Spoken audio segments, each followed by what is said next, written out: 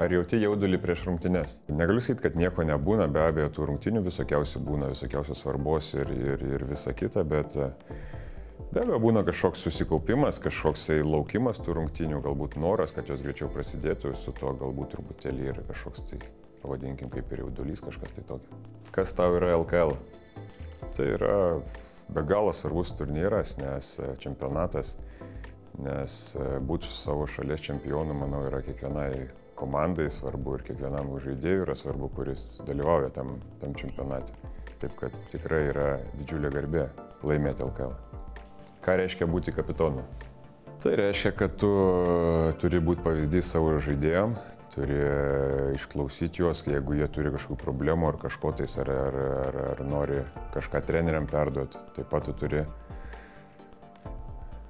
perduoti trenerių kažkokią tai valią ar žodžius ar kažkokius tai norus komandos žaidėjim. Ir be abejo, kiekvieną dieną dalyvauji procese ir žiūri, kas kur ne taip jaunimą turi pakontroliuoti, vis tiek jie ateina nesusipažinę su vidaus elgesio taisyklėm ir panašiai.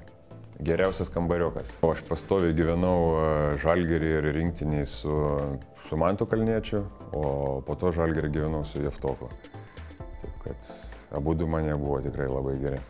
Savaitė be krepšinio. Nu, dabar kaip po vasaros, kaip pasakyti, tai, tai reikštų gal kažką kito, bet sezono metu tai reikštų pertrauką tokia nuo, nuo krepšinio, nuo, nuo įtampos, grinai atsipalaidavimui, sodybui su šeima, žvejyba, medžioklė, planšetė ir laptopas. Planšetė. Patogiau kelionėse visur dabar tų planšečių, planšečių didelių yra, galima puikiai peržiūrėti ir filmus, ir internete naršyti. Juodi ar balti kėdai? Balti.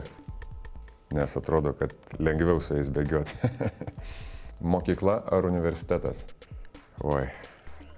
Mokykla turbūt, nes sudeda vis tiek visus gyvenimo pagrindus, disciplinos išmoko daug ko per tuos 12 metų. O universitetas jau, jau kiti dalykai mokomi tenai. Sniegas ar lietus? Sniegas be abejo. Rinktinė ar klubas? Žiūrint kada, vasarą rinktinė, žiemą klubas. Dankanas ar garnetas? Dankanas. Paprasčiausiai man labiau imponuoja. Degtukai ar žieptuvėlis?